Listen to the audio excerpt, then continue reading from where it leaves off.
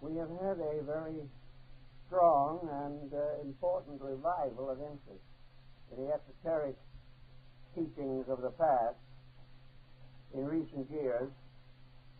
And among the various emphases that have come back into focus is the story of the adept tradition.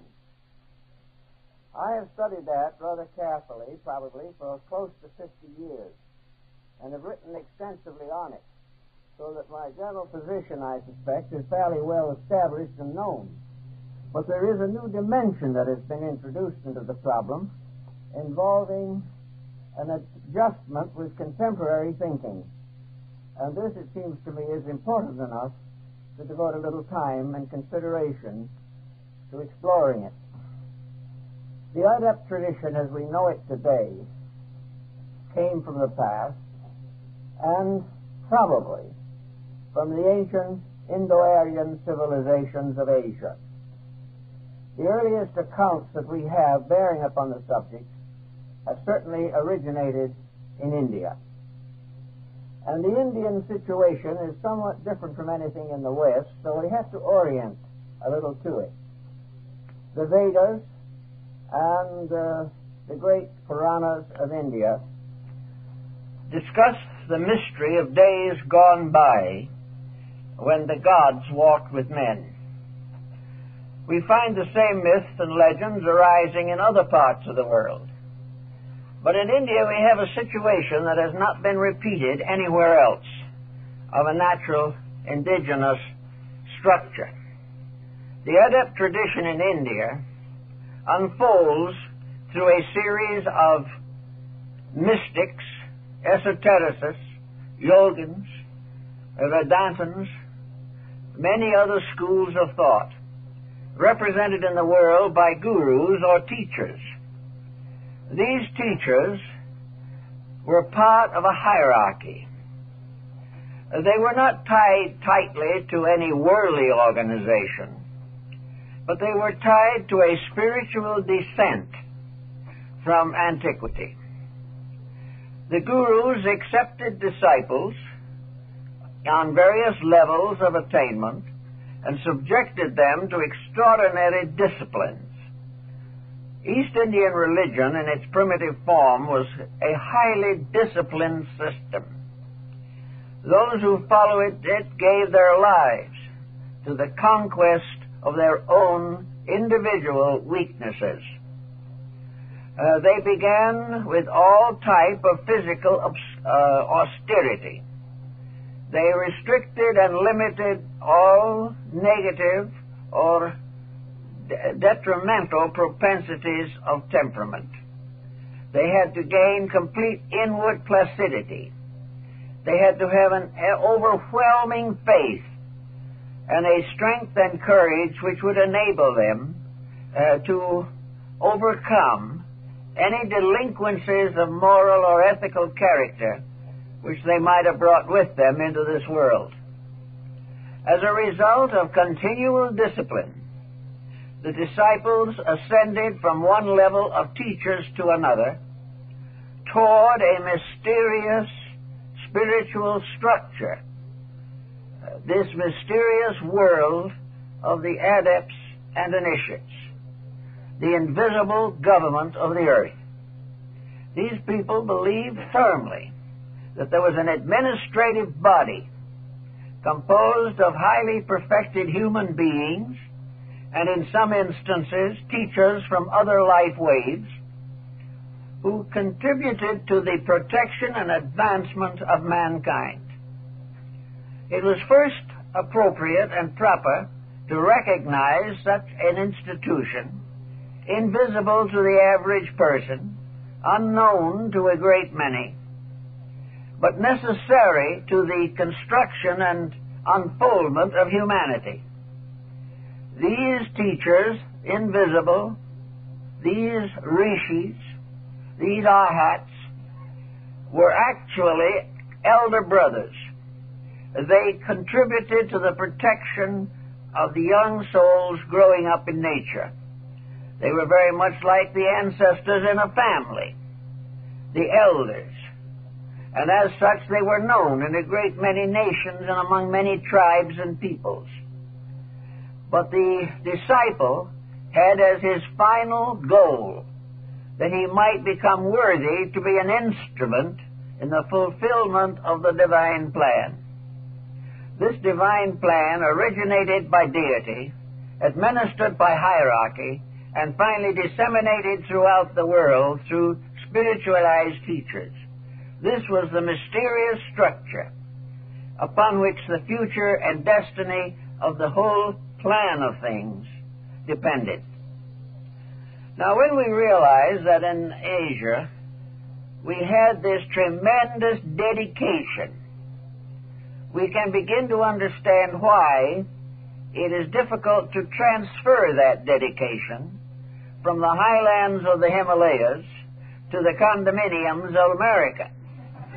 There is a tremendous interval here between the spiritual way of life and the highly economic industrial type of existence with which we are generally familiar. Almost all the sacred books of the world, regardless of their nationality or their dating, include the factor of an invisible government the overwhelming hierarchy principle. Theology has generally overlooked this in the West. But on the other hand, it is indispensable to an understanding of nature and life, and a great many philosophers have given a great deal of thought to it. In the first place, if we wish to assume the presence of deity and the Godhead, a Trinity, or a triunity in unity, and also realize or believe that this power controls, directs, and judges the existence of all living things, it becomes inevitable that there must be something in the interval between deity and humanity. It is inconceivable that deity can administer the whole universal procedure, either by itself or by means of a small group of divine beings. It is much easier to believe that this administrative structure, highly conditioned, highly de- developed, represents a complete technical structure of overgovernment, of divine administration, it is as though you said of a large corporation that a, a corporation like Standard Oil or General Foods consists of a president, a board of direction, directors, and office boys. There has to be something between. There has to be managers, department heads. There have to be specialists in many different fields to administer a great corporation. And the universe is the greatest of all corporations for its very structure is the basis of all integration, all organization, and all distribution of authority in nature. So it did not seem unreasonable to the Oriental mind that there had to be this invisible hierarchy, that there had to be a tremendous invisible machinery administering the visible phenomena of life. That this machinery had to take care of everything, from the motion of the cosmos to the sparrow's fall. There had to be a tremendous over something, greater than anything we can even imagine, as we look out into space and see a, a magnificent distribution of light in the sky, stars, galaxies, nebula, all kinds of structure out there we have to realize that something is running this. Something is ruling it. Something is administering it. And the sages of High Asia were convinced that the visible world as we see it is merely an appendage to a great invisible process that we do not see, but which we can learn to appreciate or understand. The first step, therefore, in the training of the chelas or disciples the first step was to become aware of the importance of a great process behind the obvious. that there was something more to know than we can find in school books, that there were reasons for things that transcend the common economic impulses with which we are familiar today. It became evident to these ancient sages that man was not here simply to build a material world. He was not here to advance personal fortune or dignity or estate. He was not here to conquer. There was something much more important in life. Finally, he was here to be a servant of the tremendous plan which sustained him and of which he was a part. It didn't seem at all unreasonable, therefore, to these elders that the disciples should become aware of the need for this procedure. That having discovered that there was a purpose in life greater than the ordinary human purpose, that the disciple should prepare himself for this purpose, that he should dedicate himself to whatever improvement would make him valuable to the advancement of the grand purpose or the eternal principle of progress. In this concept, therefore, he went through disciplines, disciplines which not only purified the body, but also relieved the mind of prejudices and conceits and opinions and gradually unfolded what the ancients believed to be the most important part of man, and that was the extrasensory and spiritual basis of human existence. Ultimately, then, the idea was that each faithful disciple would in turn be promoted into a more important capacity, not to gratify his personal ambitions, but to give opportunity to the improvements which he had attained within himself. It was not that these improvements should make him proud or more worldly, or that he should use them to advance his personal fortunes. It was that these improvements made him more useful in the great purpose for which all life is basically intended. From this highland belief, then, came the doctrine that in the heart of Asia uh, there was what was originally the North Polar Cap, but that this cap has now moved due to other motions of the planet until it is in the desert of Gobi. And that here was a mysterious center, the spiritual core from which the invisible government of the world functioned in the material existence. This government impressed itself by means of enlightened dedicated, illumined creatures, persons. Perhaps we would call them gods, but the Greeks like to think of them as heroes, an heroic order of life between divinity and humanity. And in the Odyssey of Homer, and the Iliad, and the Aeneid of Virgil, we find references to these heroes, those who had transcended mortal limitation, and at death were lifted up to become planets and constellations. These were symbolic terms to indicate the advancement of those who had appropriate dedications and lived to achieve victory over the worldliness and ignorance in themselves. If we consider, therefore, this Oriental point of view, we can see how it drifted into Buddhism from its ancient Hindu foundation.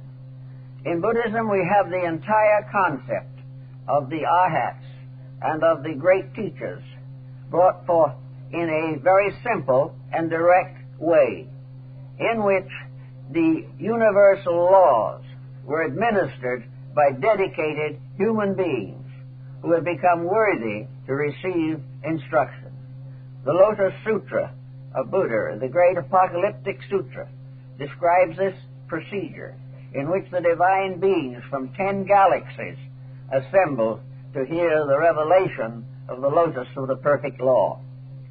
The whole of Buddhism is a visible shadow cast by an invisible structure of integrities, insights, and dedications. It also it was made up not only of the higher orders of life, the hierarchies, descending into material existence, but mortals ascending gradually out of materiality and towards a divine state, so that at a middle ground the divine and the human met in a solid dedication to principles and truth. We have the same teachings in Taoism in China. We have it in the dervish philosophies and mysticisms of Islam. We have the prophets and the sacred teachers of the Old Testament. And we have the mystics and esotericists that arose in Christianity. All of these systems essentially had a dedication, a reason why human beings should be better than they might normally be.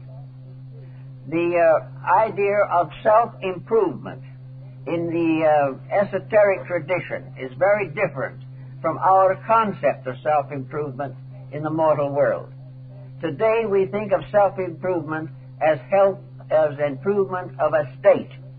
We think that self improvement is to be richer, to be more fortunate, to be more glamorous, to hold public office, to uh, achieve distinction among others, and that knowledge is simply a method of organizing and reorganizing the structure of our material existence. Therefore, we spend many years training to be computer operators. We spend many other years in terms of becoming diplomats or scientists or doctors. We become involved in great professional dedications. We become artists and architects and poets and writers, musicians. But some way, for the most part, all of our efforts are directed towards the enhancement of our material estate. We seek fame, distinction, recognition, and honor in this world. The esoteric tradition approaches this matter a little differently.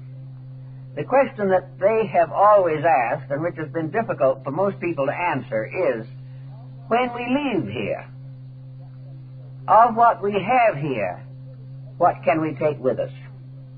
Will a good education in accounting uh, work for our favor in a universe in which accounting, as we know it, has no existence. Does wealth go beyond the grave? Is fame and distinction something that has significance outside of this world? And for the most part, if we think clearly and carefully, we have to answer in the negative. There is very little we specialize here that is good for us anywhere else. It is important simply because of the world we live in, the condition of society, the degree of advancement of learning and arts and sciences here. Beyond this, most of the attainments that we give our lives to can have no enduring significance. Recognizing this, it was easy for some of the ancient peoples uh, to rise above the lure and temptation of material existence. This was one of the reasons for which uh, the ancient scriptures were dedicated. There is another reason also that assuming that it is possible for the individual to know more about the grand structure of existence, then it is also possible for him to do better here and now in his material state. The more understanding he possesses, the more secure he can become, not only in spiritual values, but in his relation to the material environment in which he lives. Now, as we go along from one country to another, we find various names for these mysterious higher personalities. We have various uh, stories of where they came from and why they're here and how they function and operate.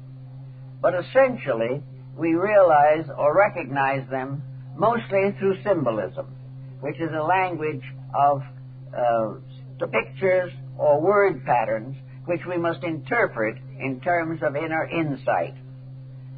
If we imagine that instead of a world simply filled with space and dark holes in the nebulas, we recognize that behind a veil, what the ancient Mayas called the azure veil of sky, behind this was a tremendous structure, a structure so meaningful uh, that uh, it brought the individual down in absolute abject uh, humility. Uh, this type of experience was awarded to Jacob Boehme, the German mystic, who, on, in, who in his meditations and mystical contemplations was given a vision of the way the universe opened up, the way that Dante saw the space, the cosmos, as a tremendous open rose with hierarchies upon each of the petals, that somewhere behind this blank wall which seems to surround us is a greater world than we have ever known. A world of purposes, of meaning, a world not bound to material or economic structures, but a world belonging to infinite life and its continuing manifestation for the purpose of the unfoldment of the spiritual content in all things that live. Now, as we go down a little further, we come to another interesting pattern that presented itself. About the beginning of the Christian era, perhaps a little earlier, uh, there was a traffic between Asia and Europe. And this traffic centered in a few great cities like Ephesus, Antioch, and Alexandria. And we find the adept tradition beginning to emerge in contact with Western peoples, particularly through Egypt.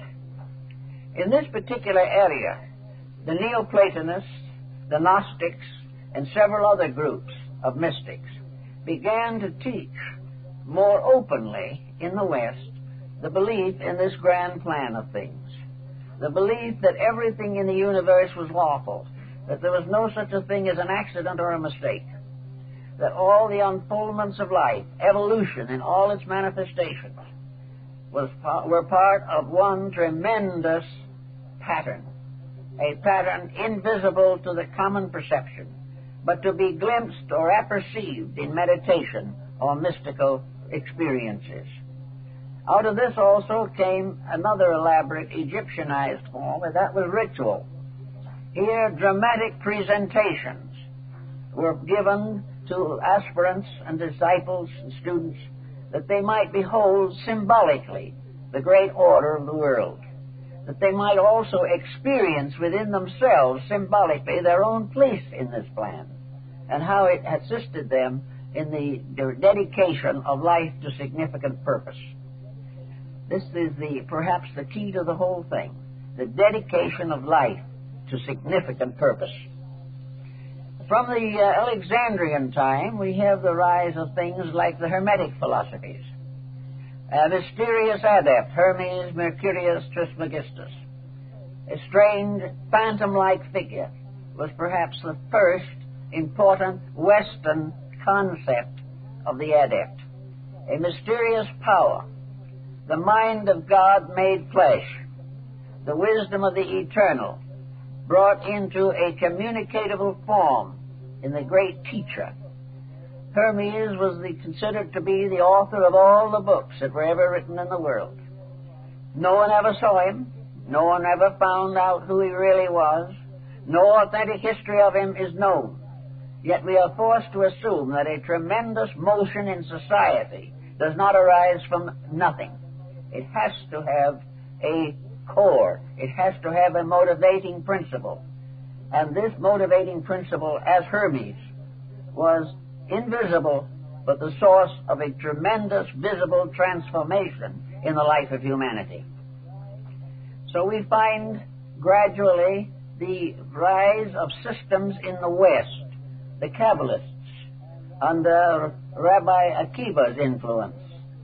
And Rabbi Simeon ben Yochai gave us the Zohar, the Book of the Splendors, the story of the great face and the lesser face, the story of the eternal throne forever, surrounded by hierarchy, by tremendous emanations of beings, purposed to the life and improvement of mankind. We have the same tradition in Central America, among the American Indian groups, and in North America. But we have the mysterious lodge in the sky, the mysterious abode of the wise.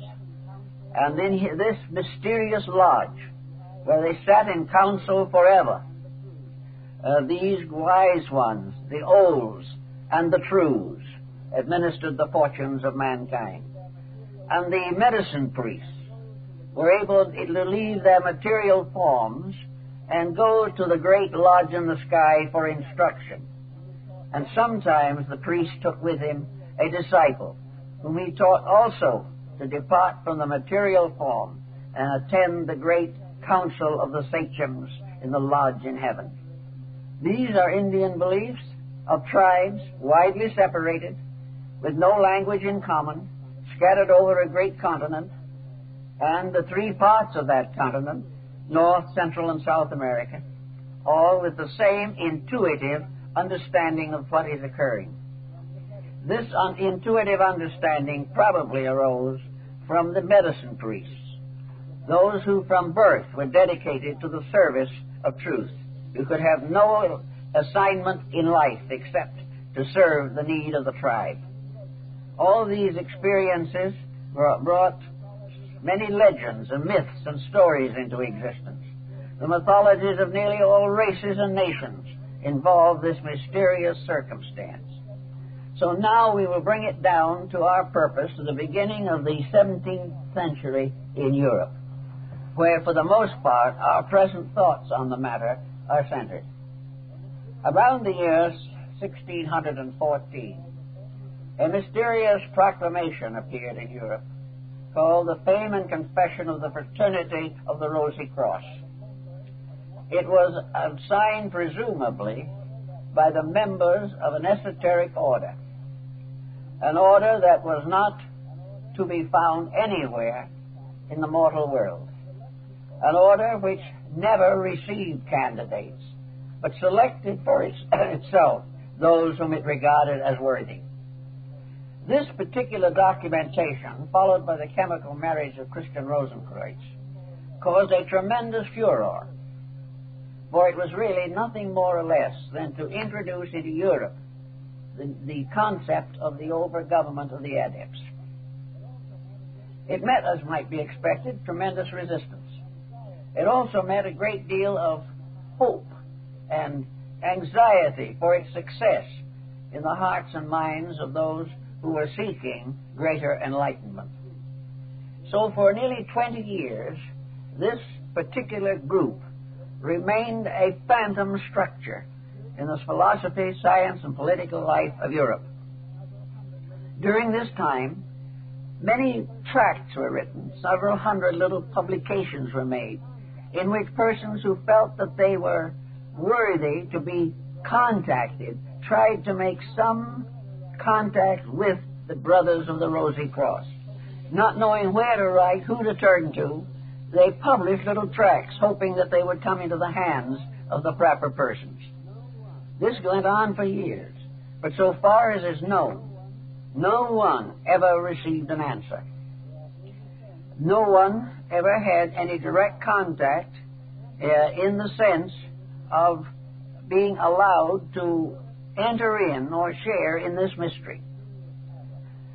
In Europe, probably the most important of the mysterious adepts was called Elias the Artist. He was the great patron saint of the alchemists. And alchemy became perhaps the front door to the open the, the gate to the shut palace of the king, as reti- reported in some of the ancient rites. the alchemists were the ones who sought to establish a legitimate contact through self discipline.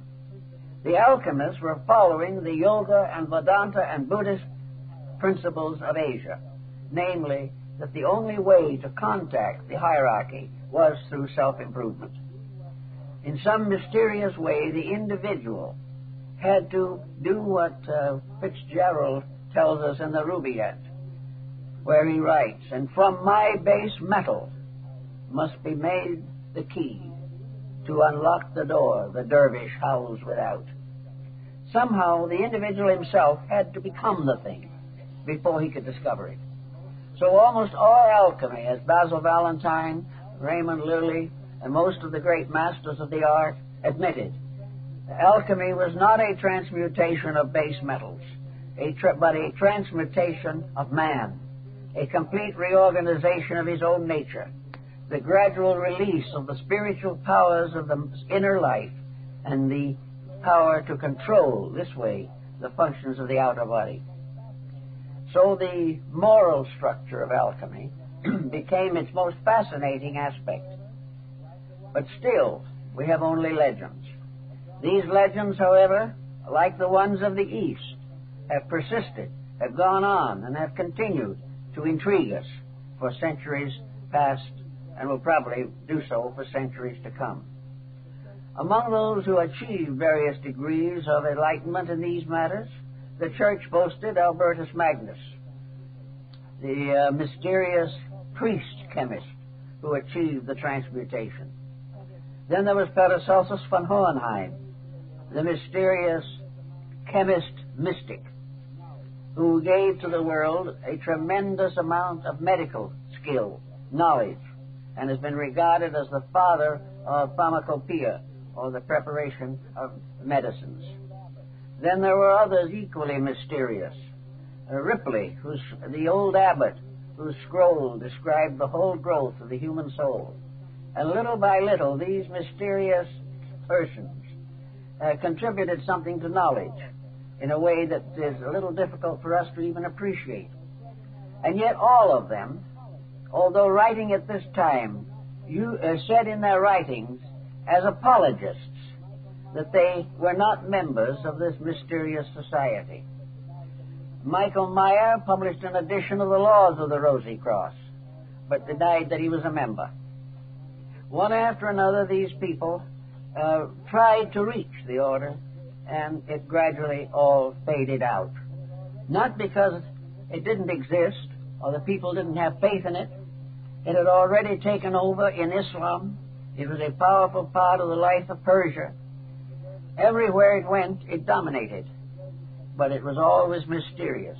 The dervishes had their adepts, but the dervish had to wait. He could not hunt out and find these teachers for himself. So gradually things drifted along until around 1660, when it is presumed that another voice was heard out of this mystery of the adept tradition. This voice was John Heydon, a young man who was peculiarly ad- adapted to be a transmitter of knowledge. He is this, actually, who more or less directly involved Bacon in the story and probably was empowered to do so. But uh, Heydon described the Brothers of the Rosy Cross as a mysterious fraternity inhabiting the suburbs of heaven and servants of the Generalissimo of the world. This is a very nice definition, and it was the definition that has influenced nearly every bit of thinking since. The problem was very obvious, and it sums down to what we have now come to, be, to believe to be the contemporary focus. Namely, that there is a mysterious integrity behind life. There are forces working for the improvement of mankind. Every great teacher of the world has admitted this. Most of them have declared that they were commissioned to bring their message, commissioned by this mysterious group that did not appear, but labored for the good of mankind. So we come to the present focus where the world, confused, disturbed, and in great tragedy of personal and collective existence, is beginning to go back again to the old idea. Is there a power beyond our own by means of which all things move together according to law?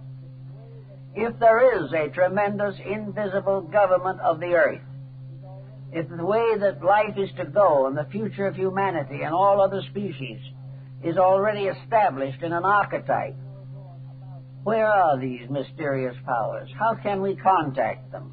How can we know more about them? And if we cannot know these things, how can we at least have a constructive faith in the power of these organizations or this mysterious government to regulate the destiny of empires. I think the Bible and most other books do give us uh, a key.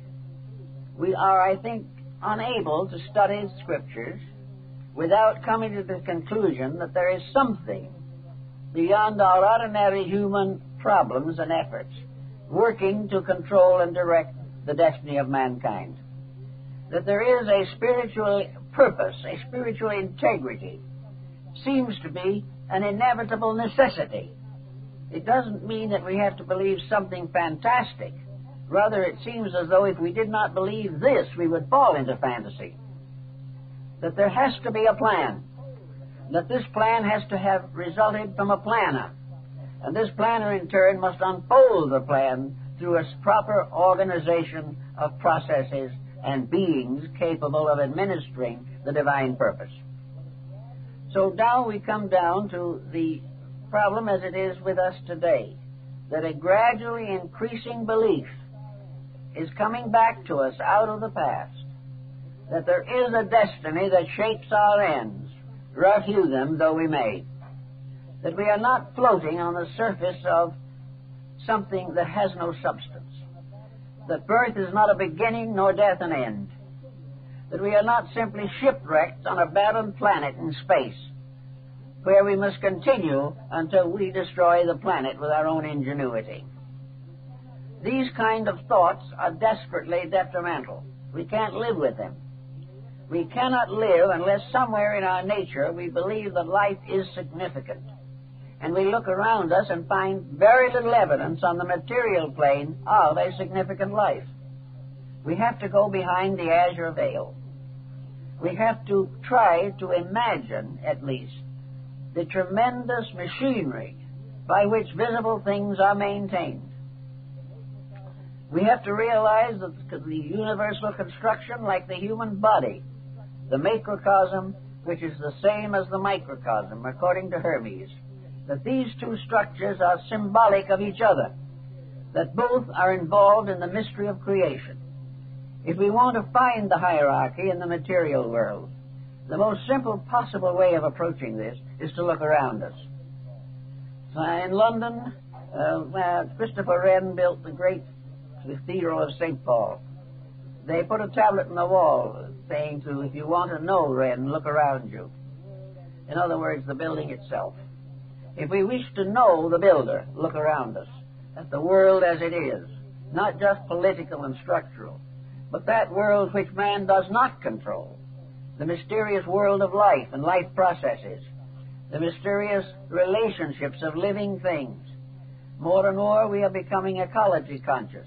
More and more we are studying the various forms of life that inhabit the planet and we are becoming consistently more concerned with man's relationship to the rest.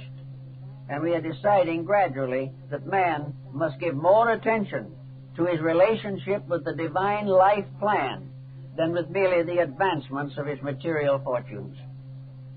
So, with this thought in mind, we have the problem of the adept tradition coming back into focus. And we can say to ourselves, how are we going to administer this problem? How are we going to take something we can't see, dealing with persons and beings we cannot possibly actually visualize, and also dealing with principles with which we are not equipped, equipped to handle constructively? We have to go back to the same thing that was true in India. There is only one protection to the human being who begins to investigate the unseen and the unknown and that protection is his own integrity. There's no possible way in which he can protect himself except by the constant protection of his own honor. He must arise above all personal considerations. The gurus of India, the first thing that they taught their disciples was that the individual is not to keep his mind on the possibility of his own spiritual perfection that he is not to be concerned with being greater than somebody else. That those in the spiritual hierarchy who would become the greatest must be the servants of all, as Jesus told his disciples. Therefore, self ambition, the desire for the fulfillment of some attitude in our own daily living, can be fatal to our integrity and lead into a great deal of self deceit and openness to the deceptive processes of others. So, in the first place, that we have to try to do, where we're looking for something we cannot see, is to try to recognize that the real answer to this mystery lies for us in the gradual unfoldment of our own insights concerning life. Well, there are several ways of doing this, of course. There are in existence a great many valuable landmarks and valuable works that can be of assistance to us. The ancients, both of the East and West, have left us a fairly good description of what we're looking for. They have left us an understanding of the plan and pattern by which the world is directed. We have the right in the beginning simply to accept or reject. We can't do anything else. We can say, yes, I believe. No, I do not believe. Because at this point, there is no way of becoming certain. Certainty comes at the end of effort, not at the beginning of it. All things move from hope to certainty. All things move from faith to fact. The facts cannot become fir- cannot come first because they must result from the effect of faith upon our own conduct. All things move from faith to fact. The facts cannot become fir- cannot come first because they must result from the effect of faith upon our own conduct. So we say to ourselves, we can study the Vedas, we can study the great Buddhist scriptures, we can study the mandalas and the meditation symbols, we can read the ancient writings concerning the esoteric orders, we can do all these things. And they may give us a certain sensitivity. They may help us to prepare ourselves for the first active participation on our own part we can say to ourselves, reading or studying these things, that they seem reasonable. And why do they seem reasonable? Because they explain values which we are all seeking, but which are not to be found in the common daily living of mankind. There seems to be a reason why virtue should triumph. There seems to be a reason why effort should be rewarded according to its kind. There seems to be a reason why somewhere in the lurking in the background of things is justice. Without some faith in these integrities, we are completely lost. And we are more or less in that condition of being completely lost now. We are very largely committed to trivia.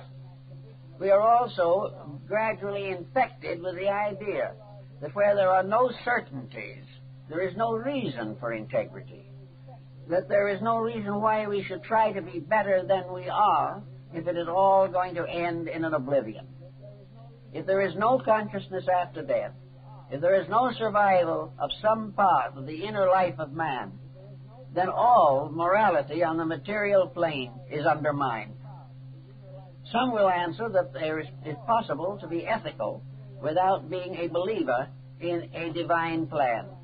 This is potentially true. That individual can be honest because he believes in honesty. But the price of honesty on that basis of, of belief is very high. The individual who believes that he must try to be honest but has no concept of an honest universe is at a disadvantage. He will be constantly uh, struck by the pressures of external circumstances. He will be tempted and tempted again, almost beyond his human strength to resist. He will have no strength from within himself to support what might be his ethical conviction. It is far better, therefore, to realize that ethics is a solid fact supported by the whole universe, and that the laws of ethics cannot be violated without disaster to all concerned. It is somewhere in this problem of cause and effect, of reward and punishment, of growth through effort and dis- disintegration uh, through neglect of effort. These are the factors that somehow must gradually come into focus. We have to believe in a life bigger than this, or we cannot live well here. We have to believe in a power greater than our own, or our own small strength will fail. Now, it doesn't seem to be very necessary to have a tremendous imagination in order to believe in values. Every day in our material way of life, we are accepting without question and without proof attitudes which we allow to take over our lives for no good reason. We are constantly believing that which is not true, simply because it is popular, because everybody thinks that way, or because it seems more profitable. But if we gain a certain satisfaction from believing that which is not true, how much greater satisfaction awaits the individual who believes that which is true. And wherever there is truth, there is improvement. Wherever there is truth, there is progress. And all truth and progress lead to peace and the integration of the human personality. Now then, coming to our present world affairs, we have a great many people today who are looking for spiritual strength. They are looking for help in their problems and in their uh, concerns. And many of them are beginning to think in terms of hierarchy, in thinking in terms of the strengthening power of a more constructive belief. Now, when this comes along, we always also have the doubting Thomas. We have the individual who will believe that he can put his finger in the wound. But in this particular case, we are again at a disadvantage. The average person is not in a position to weigh, estimate, and validate various beliefs and doctrines that are gradually gaining circulation. The individual does not know how to determine what constitutes the true expression of hierarchy and that which in one way or another is itself a fantasy we do not know or do not have the skill, for the most part, of determining the qualities of the values which are communicated to us in the terms of an esoteric tradition. We are not able to tell for certain uh, what is the source of a certain idea or a certain doctrine, or the validity of a certain organization, or the integrity of a basic conviction about life that may arise in our environment. How can we evaluate these things? How can we avoid delusion and illusion? How can we be sure that the particular belief that we have is founded in enlightenment, in true esotericism, or perhaps, like too many exploiting problems of today, is gradually being dominated by an, an ex, uh, exploitation concept. In other words, are we going to find the true thing that we seek? Or are we going to be imposed upon again? This is always a grave question. The ancients faced it, and those today who believe in esoteric things will have to face it again. The answer lies, of course, in one thing integrities. The individual will have to use his own faculties to determine the validity and integrity of the things he believes. He is going to have to judge his own conduct. He is going to have to consider his own relationship with life. Why is he seeking? Is the first problem. Why is he trying to know more than he knows now? Why does he want to get in contact with these mysterious invisibles? Well, there's a big question. Most people who believe that they want this contact believe they are looking for it in a sincere and admirable manner. But in a great many instances, even an ordinary family psychologist can point to their shortcomings.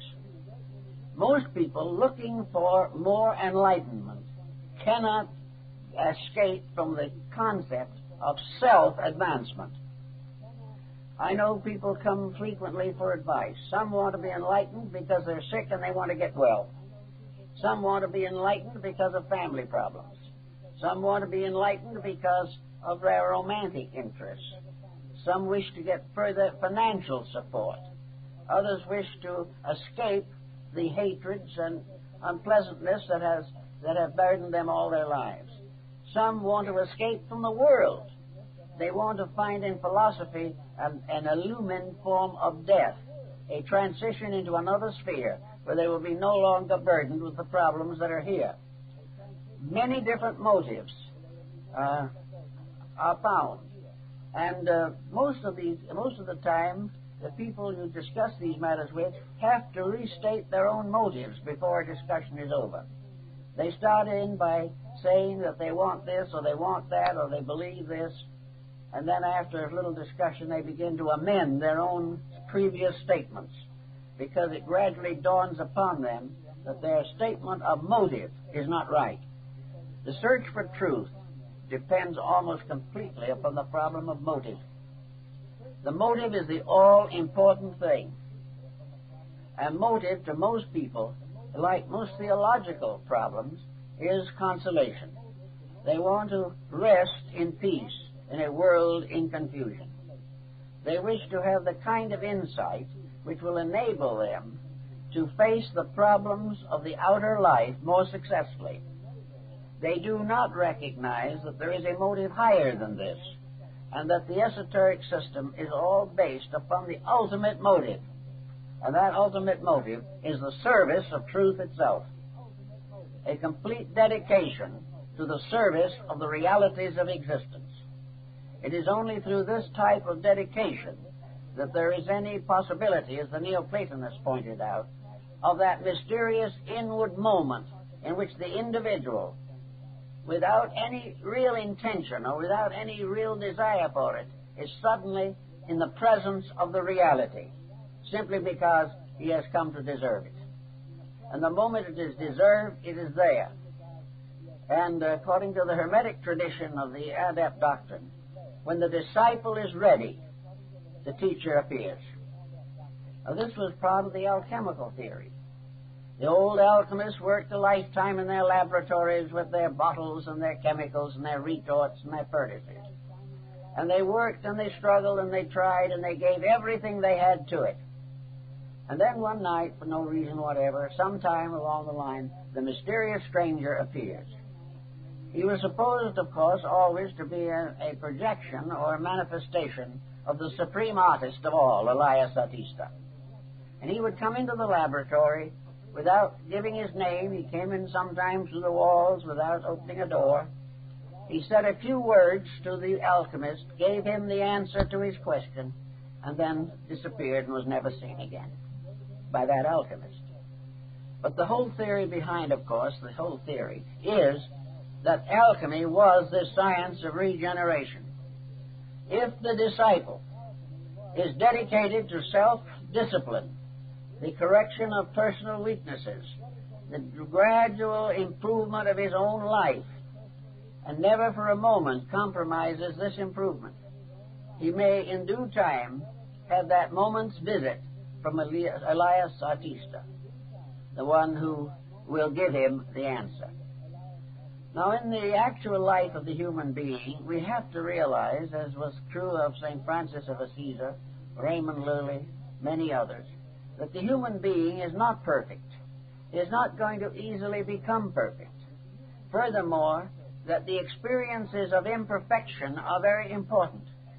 The individual who has never made a mistake has seldom ever done anything well, because it is necessary to grow through mistakes grow through doing things that perhaps are repented. We all do these things in spite of our good intentions. But as we become more and more dedicated to the realities, we begin to reinterpret our own mistakes. We find that these mistakes become partial, at least, proof of the very truth we are seeking.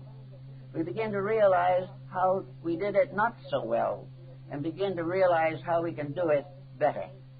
Little by little, the past with its mistakes is transmuted, like the base metals of alchemy, into a realization of the disciplines that are necessary to our own growth.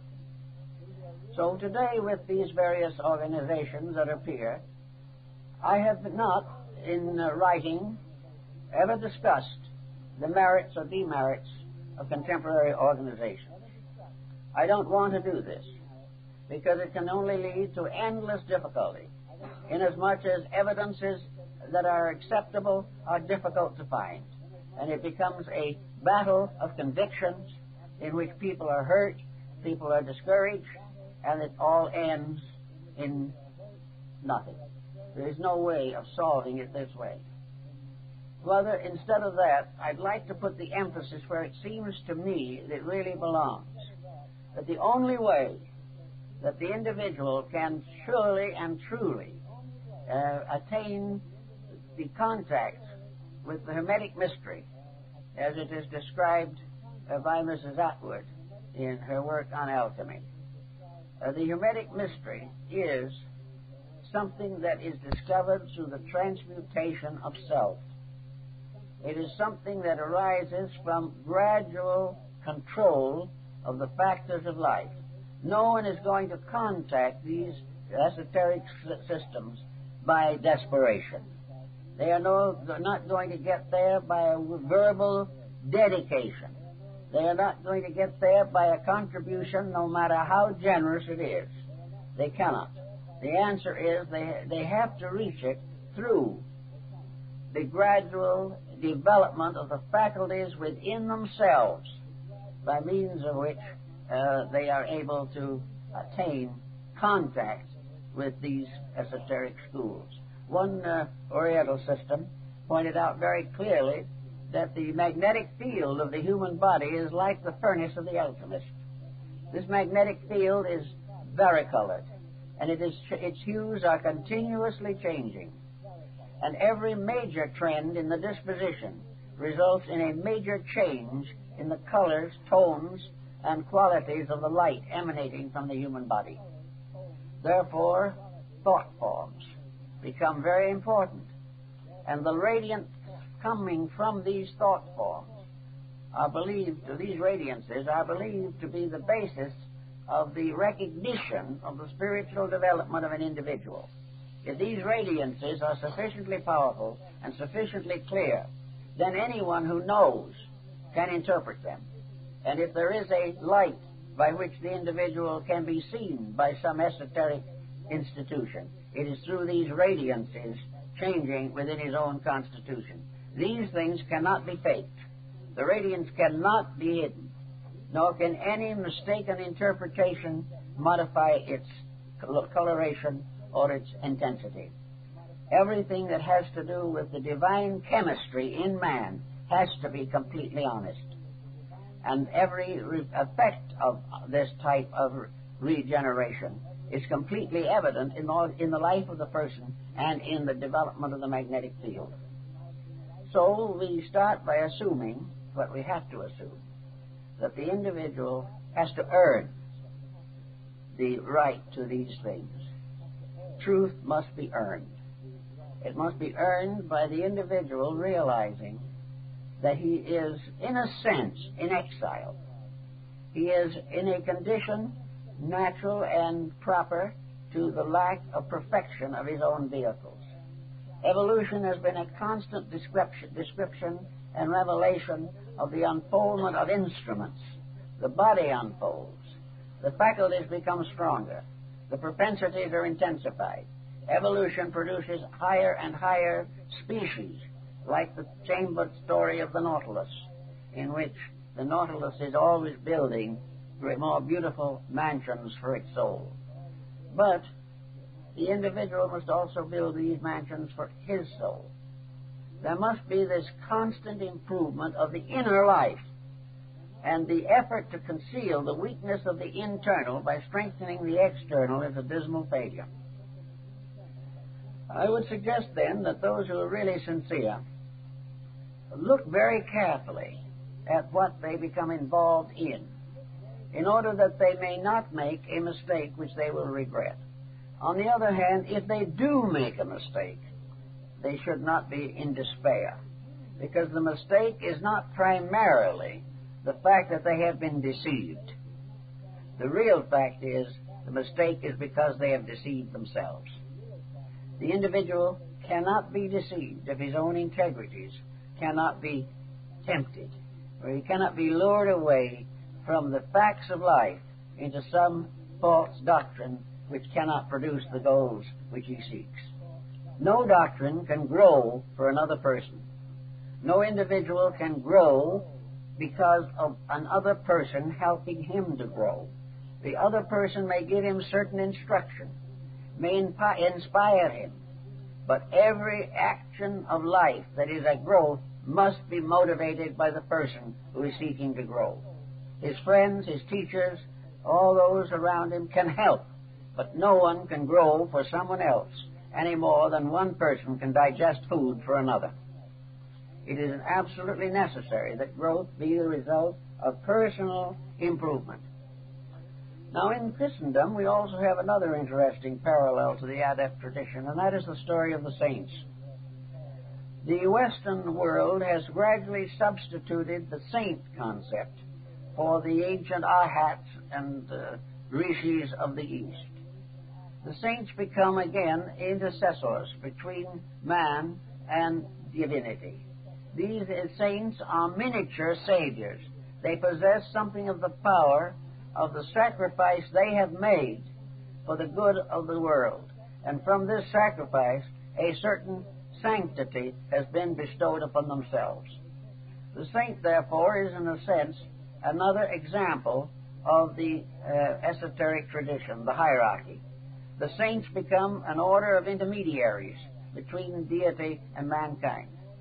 If this has any foundation in validity, and it is held as sacred by hundreds of millions of people, it is because of this very fact that the individual who loses his life or gives his life for a principle greater than himself shall have life everlasting. The uh, saint is most commonly canonized because of martyrdom. And this martyrdom is the giving of all of self, unselfishly, to the glory of God and the service of each other. This constitutes then what to the ancient esoteric orders would be the qualification necessary for participation in the esoteric circle of illumines. Uh, the uh, saint becomes the symbol of the person who has achieved the complete renunciation of himself in the service of others. That he becomes capable, therefore, of interceding and becomes an intercessor, as all the world teachers have been, by means of which the eternal power of things is refreshed and restored in confidence by the proof that among its creatures there are those who are moving definitely and dedicatedly toward union with itself. Therefore, those who become dedicated have certain virtues, certain powers, and certain authorities vested in them. And this concept leads, of course, to the concept, finally, that these together become the interpreters of the law. They are interpreters not on our level, but on the level of absolute unselfishness, absolute impersonality, absolute obedience. These things are a little hard for Western man to accept. We have gradually become more and more convinced of our own importance. We have more or less felt that some way we were going to change the world. But the more effort we put in that direction, the more we endanger the world. Because that which attempts to solve problems by force, by strength, by wealth, by authority, all of these conditions are ultimately failures. There were times in the early history of mankind when there were shepherd kings guarding the destiny of mortals, where, according to Homer and others of the ancient world, the gods walked with men. They descended as teachers and guardians and guides, and they spoke through the prophets of old, as we find in the Old Testament. But gradually something else happened. As the individual grows up, is no longer uh, dependent upon elders entirely. He, can, he cannot be trained by being forced to perform certain virtuous actions. He cannot be made honest by being whipped if he is dishonest. He cannot become virtuous because he is published, uh, punished as a criminal. The individual must make these changes of himself, in himself, and by himself. He must gradually build up these values which he knows to be right. Gradually, therefore, the shepherd kings vanished from the world, and the individual became a self-reliant individual, uh, possessing what St. Thomas Aquinas called a limited determinism, the right to choose to do right. And this choice to do right, voluntarily uh, met, the individual actually choosing to, to supply his inner life with greater integrities has made an important personal step. It is very much more important to make one small step in the, one's own way than to be pushed into something that appears to be much greater.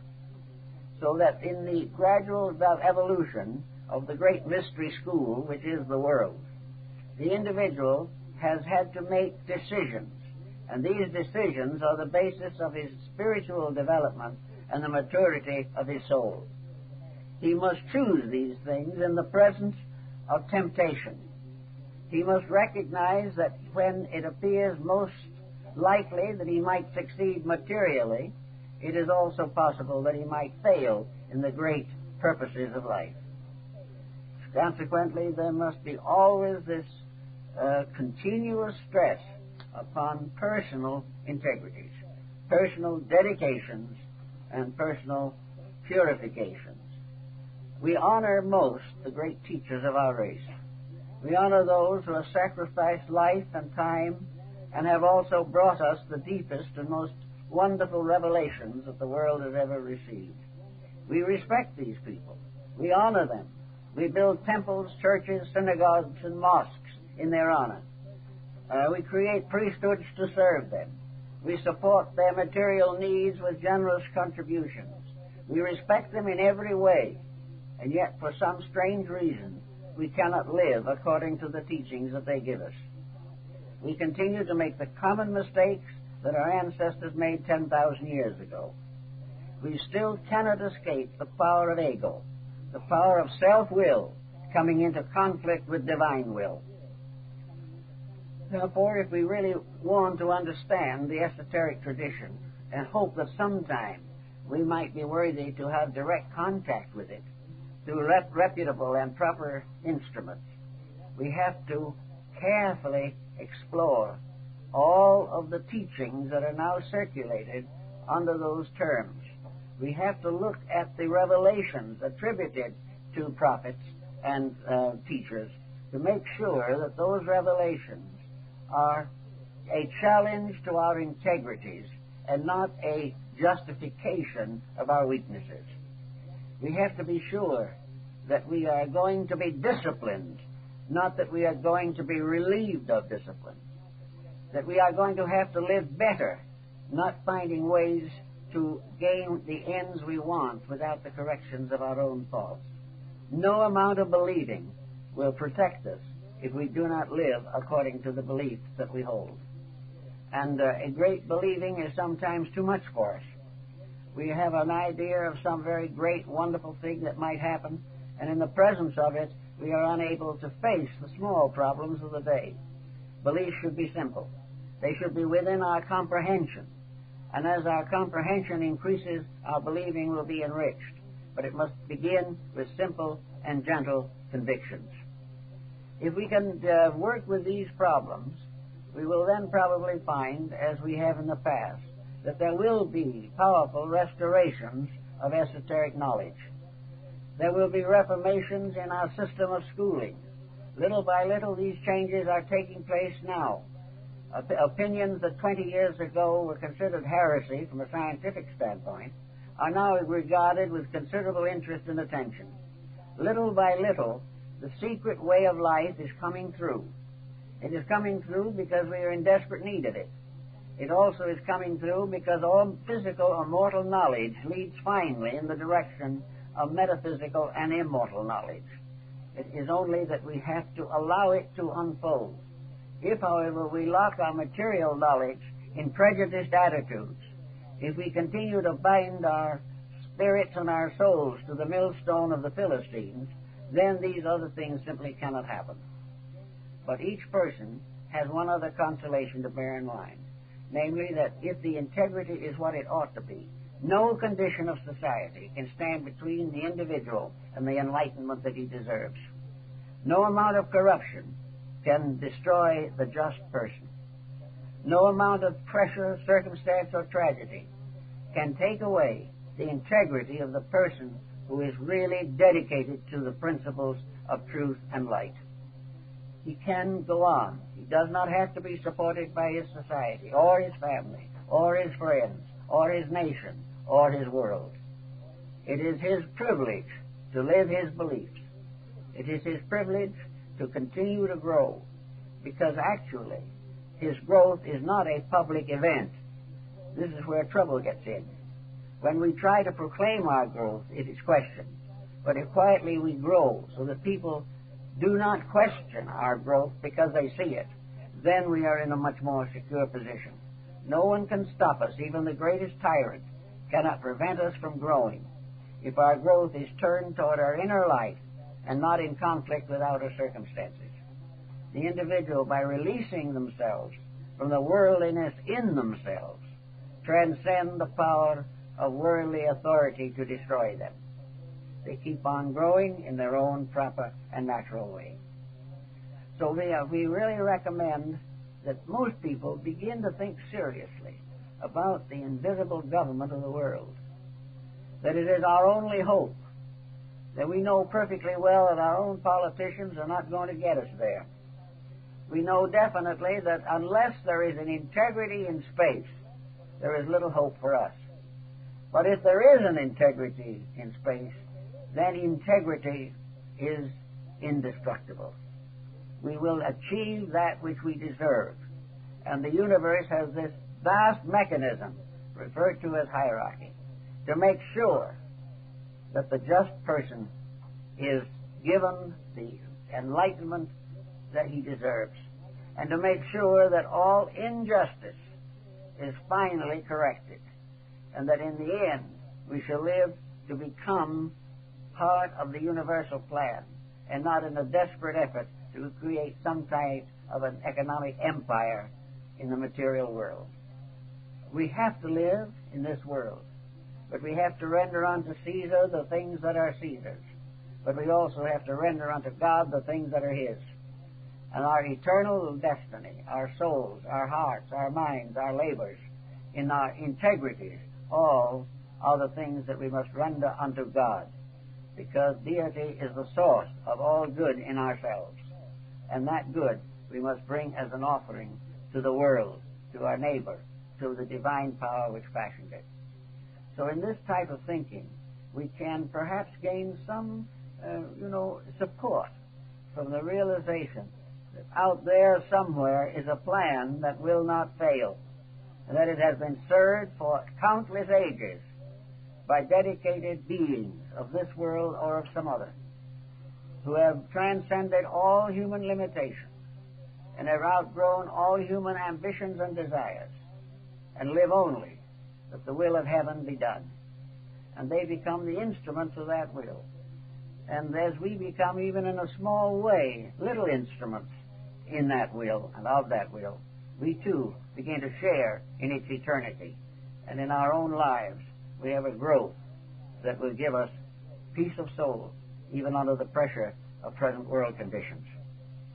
And at this season of the resurrection, it is particularly fitting that we bear these thoughts in mind that the world has not been left without hope, that man has not been left without the key to unlock his own destiny, but the individual must use the integrities he has to perfect those integrities which must yet be developed within his own nature. When he is capable of doing this, he will fulfill the law and will live for the glory of God and the well being of all creatures that exist. This is a proper thought, it seems to me, for this particular season of the year. Well, folks, that's that for this morning. And uh, I'd like to make an announcement or two. At this season of the year, I nearly always announce something that my wife is working on. And uh, the program for the development of the uh, Bruton Vault, the opening of Bruton Vault, Williamsburg, this program is gaining considerable mom- momentum, and more and more people are becoming concerned with it. And we hope that if you do not have a copy of her little book, Foundations Unearthed, that you will secure a copy because there is really quite a lot of activity after many years, probably because the time has come when the average person is more and more concerned with the protection of the entire world and less and less concerned with the success of his own small enterprises. And on the same basis, we, she has another publication which I think you would enjoy, and that is World and Family Enlightenment. We were out last evening to see a very lovely family that has a new six month old baby daughter. These people are really very fine people. And their efforts to be right in this world to do what is right should not only be respected, but it should be strengthened by information, by a broader understanding of life and what relationships are. And my wife, in her little publication, uh, World and Family Relations, gives a picture of a family of worlds, a family of nations, a family of people, which I think you will enjoy and may help you to make this Easter significant. We thank you for being with you, us, and we hope to see you in the near future.